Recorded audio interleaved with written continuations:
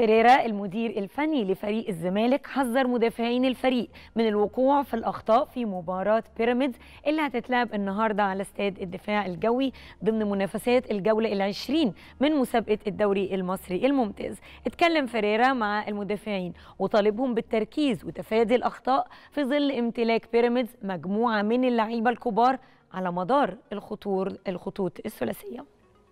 كمان فريق رجال الكرة الطايرة في النادي الأهلي تم تتويجه بلقب البطولة العربية للأندية في نسختها الواحد وأربعين واللي استضافتها مصر على استاد القاهرة وفاز فيها الفريق على النصر البحريني بنتيجة 3-0 في النهائي بحضور الجماهير. نروح للتنس. نجحت ميار شريف لاعبة المنتخب الوطني للتنس في التأهل لربع نهائي منافسات الزوجي في بطولة مونتيري للتنس بالمكسيك رفقة السلوفاكية تيريزا بعد ما فازوا على الثنائي الجورجية ناتيلا والكندية ريبيكا بنتيجة مجموعتين مقابل واحدة. جاءت نتيجة المجموعات كالتالي 7 6 5 7 و10 4 حافظ البطل المصري محمد الجندي صاحب فضية بطولة العالم للكبار على تصدره للتصنيف العالمي للخماسي الحديث على مستوى الشباب وفقا للتصنيف الصادر من الاتحاد الدولي عن شهر مارس. واستمر الجندي في المركز الأول للتصنيف العالمي برصيد 182 نقطة متفوقا على البطل الفرنسي ليو بوري صاحب المركز الثاني بفرق 43 نقطة.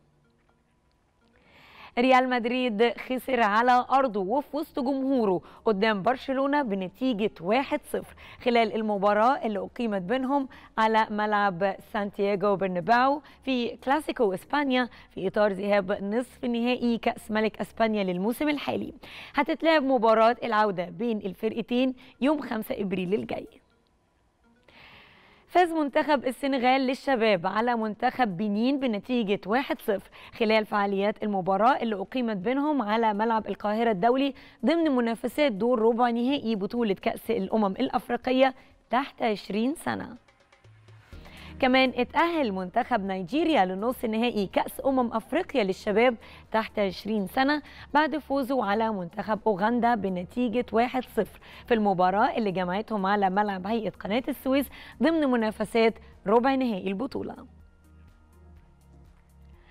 ورفع محمد صلاح قائد المنتخب الوطني رصيده ل 300 هدف في مسيرته الاحترافية بعد تسجيله هدف ضد وولفرهامبتون في المباراة اللي جمعتهم على ملعب أنفيلد ضمن مؤجلات الجولة السابعة من منافسات بطولة الدوري الإنجليزي الممتاز.